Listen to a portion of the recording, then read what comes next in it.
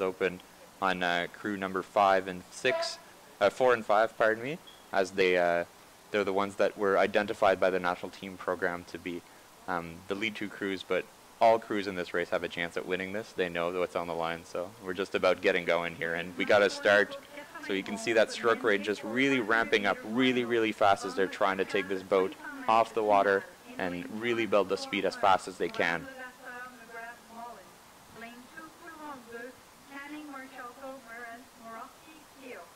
And we got a really fast start here from the crew in lane four and lane five.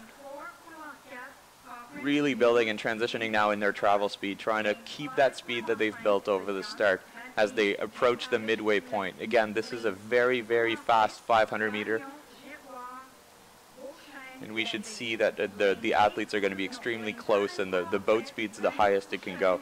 So approaching the 200 meter here, it looks like the boat in lane 5 is actually opening up a little bit of a lead on the boat in lane 4.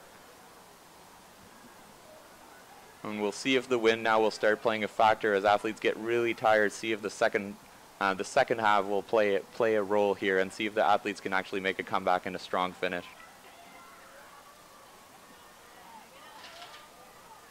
And then we have a nice panorama shot here of the athletes in lane five, really clear water.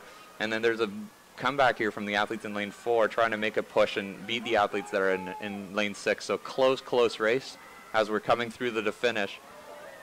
So close to call here for boat length. Oh, wow, by a boat length. Great job by lane five here. The crew of uh, Mark de Jonge, Nick Matvey, Simon McTavish, and Pierre-Luc Prunet taking the win over the crew of uh, Marshall Hughes, Jared Kenke, Alex Scott, and Mark